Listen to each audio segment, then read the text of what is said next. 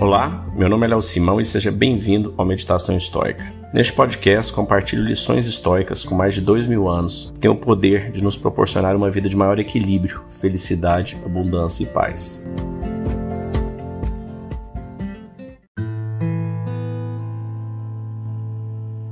Hoje nós vamos iniciar a sexta parte de 10 que nós dividimos aqui, o livro 12, o último livro de Meditações de Marcos Aurelius.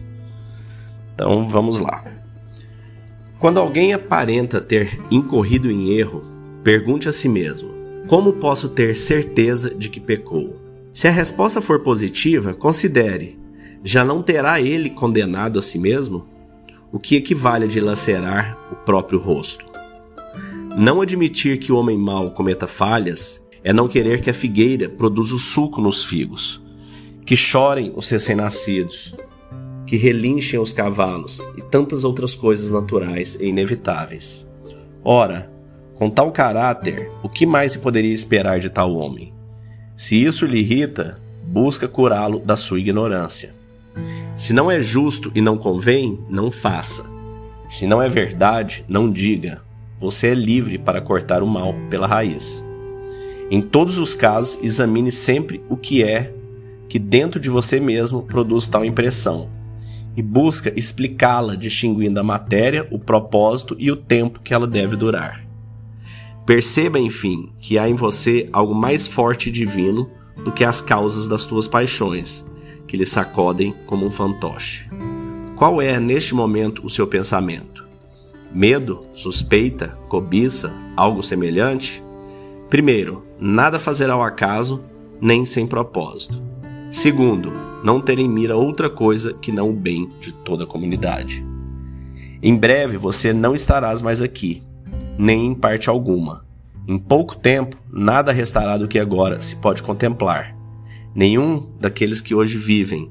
Todas as coisas foram formadas pela natureza para se modificarem e parecem a fim de que possam se transmutar em novas coisas e novos seres. Bom, aqui mais uma vez, como de costume do Marcos Aurelius, ele fazendo o exercício de memento mori, ele visualizando, ele esse livro foi escrito já bem próximo né, do, do fim da sua vida, ele já estava doente, então ele está ali refletindo, né, como vai passar tudo, para ele não perder o tempo, da mesma forma que a gente não deve perder tempo com nada que não seja o bem da comunidade de outras pessoas porque a nossa vida vai passar. Nossa vida é muito breve.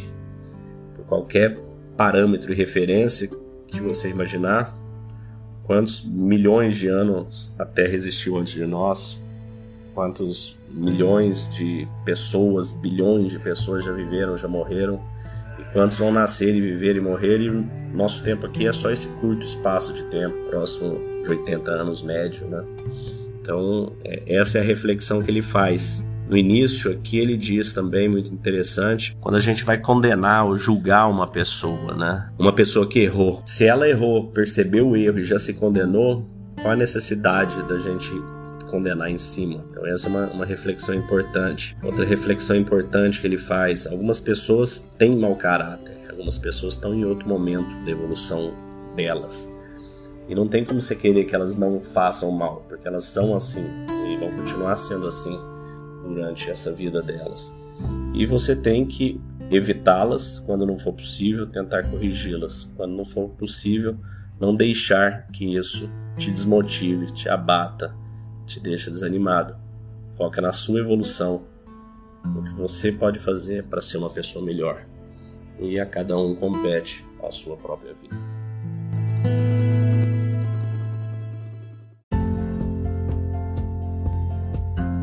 Se você gostou desse podcast, deixe seu like, siga nosso canal e compartilhe. Alguém pode estar precisando escutar isto hoje. Seja você a pessoa a levar esta mensagem de força e resiliência. Pode mudar o dia e o destino de alguém. Estoicismo é uma fórmula que nos ajuda a superar os desafios e dificuldades da vida.